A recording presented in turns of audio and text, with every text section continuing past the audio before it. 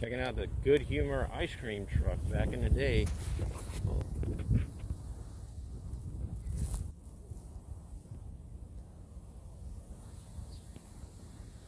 Back in the day, Good Humor truck.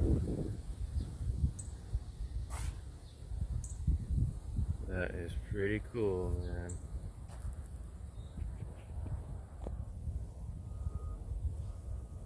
Hey, check out the uh, check out the bells on the top of the. Little bells. It's like a oh, like a handle. You pull on the handle, and the bells go off.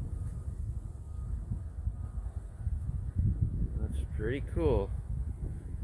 I must say myself.